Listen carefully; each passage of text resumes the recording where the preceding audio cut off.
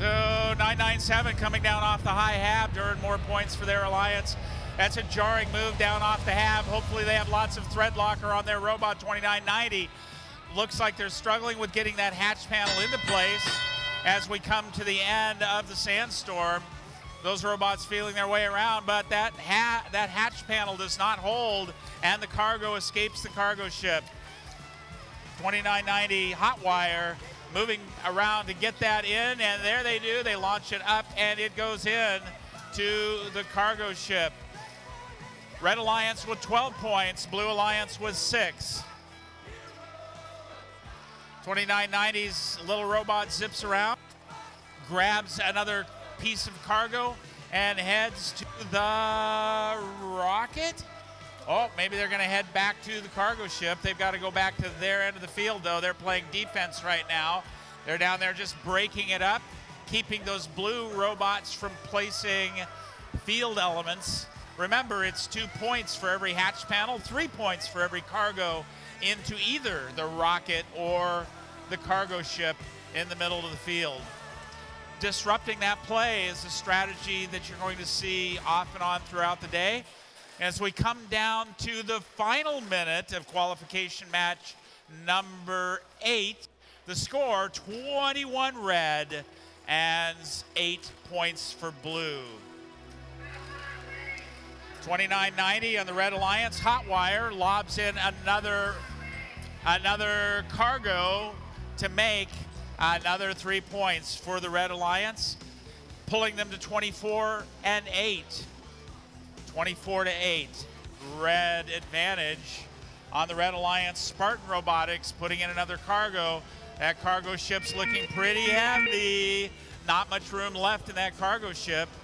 On the Blue Alliance, we have a high rise robot placing a hatch panel on the, the high level of the rocket, checking to see if they can do that. We come down now to the end game. We see some climbing and we see some unevenness over here. 997 on the Red Alliance. Spartan Robotics makes it up on the low level. 2990 on the Red Alliance, struggling a bit. And on the Blue Alliance, it looks like two robots may be up on the hab as the rocket launches to escape the surface of Primus. We'll be back with a final score after review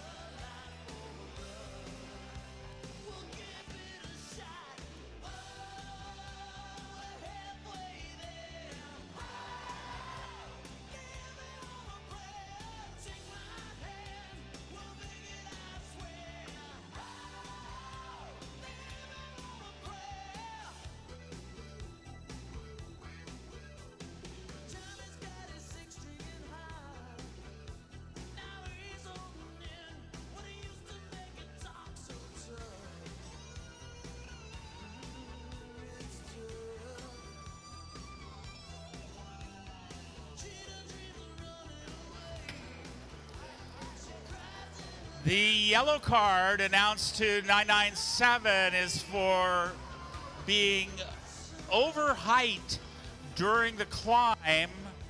That's a G13 overextending above the driver's station wall during the climb.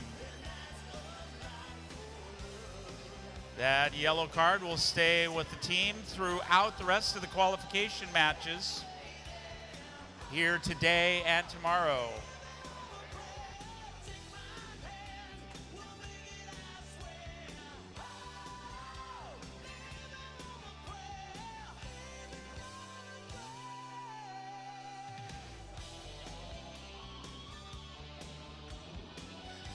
And with that, here is the final score of qualification match number eight. The victory to the 36 to 19. The Red Alliance with two ranking points. Congratulations, Red Alliance.